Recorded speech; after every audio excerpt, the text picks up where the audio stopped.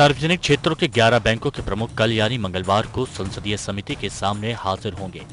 फंसे हुए कर्ज यानी एनपीए, बेड लोन और फर्जीवाड़े के बढ़ते मामलों पर बैंकों के प्रमुख को जवाब तलब किया गया है। ये सभी बैंक प्रमुख कांग्रेस नेता एम वीरप्पा मोइली की अध्यक्षता में वित्त पर बनाई गई संसद की स्थायी समिति के सामने पेश होंगे। ये समिति भारत के बैंकिंग क्षेत्रों के मसलों, चुनौतियों और आगे की कार्य योजना पर रिपोर्ट तैयार कर रही है। IDBI bank, UCO bank, central bank of India और बैंक ऑफ़ इंडिया बैंकों के प्रमुख को बुलाया गया है। Indian overseas bank, Dena bank, oriental bank of commerce, bank of Maharashtra के प्रमुख भी हाजिर होंगे। United bank of India, corporation bank और इलाहाबाद बैंक के प्रमुख संसदीय समिति के समक्ष प्रस्तुत होंगे। सभी बैंकों के प्रमुख समिति के सदस्यों के तमाम सवालों का जवाब देंगे। देश का बैंकिंग सेक्टर बढ़ती हुई एनपीए से जूझ रहा है, जो कि साल 2017 के दिसंबर अंत तक आठ दशमलव नौ नौ लाख करोड़ रुपए रहा था।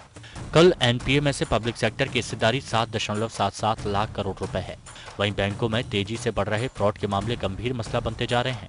बैंकों की ओर से दर्ज कराए गए फ्रॉड के मामले बड़े हैं। वित्त वर्ष 2015-16 में ऐसे मामले चार हज़ार छह सौ तिरानवे थे, जो कि वित्त वर्ष 2017-18 में बढ़कर पाँच हज़ार नौ सौ चार हो गए हैं। मार्च 2018 तक ऐसे फ्रॉड की राशि बत्तीस करोड़ 27 लाख रुपए रही थी, जो कि वित्त वर्ष 2015-16 में अठारह करोड़ 8 लाख रुपए रही थी। Bureau report APN